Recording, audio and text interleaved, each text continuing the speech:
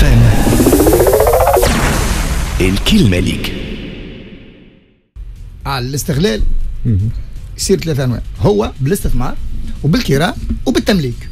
في الق- في القانون هذايا أول حاجة نأكد للتوانسة أن مجله الاستثمار هذه تعملت للخارج وما تعملتش للداخل. تعملت للأجانب ومش للتوانسة. هذه تشجيع الأجانب أكثر منه التوانسة.